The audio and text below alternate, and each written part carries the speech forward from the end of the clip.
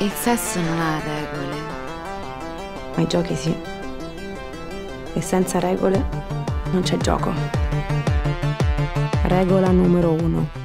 Ogni atto sessuale svolto dai tre partecipanti dovrà essere riportato su questo quaderno, così come anche ogni sentimento d'amore. Mi devo ricordare il posto, le ore, le posizioni, dove le vengo. Ho capito, non sono mica un database. Questa è roba da 60 punti. Ogni atto sessuale dovrà essere trascritto senza alcuna censura morale o religiosa. In questo quaderno è accettata solo la verità. Tu sei pericolosa, cazzo! Cazzo, non parli adesso, eh! No, non parli!